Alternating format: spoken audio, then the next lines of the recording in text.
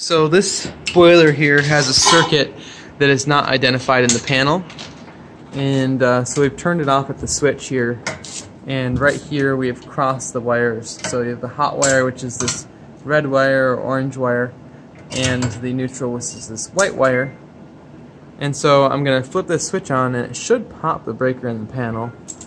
Um, but it could be exciting. So you want to shield your eyes whenever you do this so that uh, you don't get any welding done in, on in your eyes.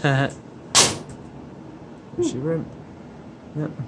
So the power is definitely off now. So now we just got to go find the breaker panel and see which breaker tripped. And there it is.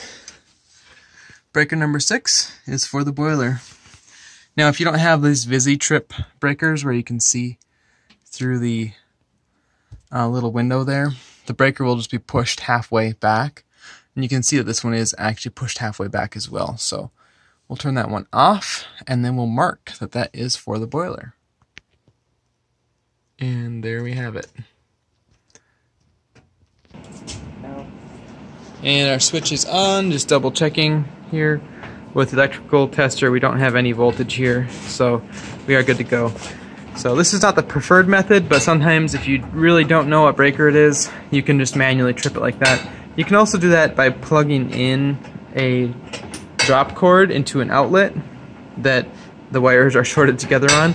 But again, it's not preferred, so it's probably better to send someone upstairs and just keep turning breakers off.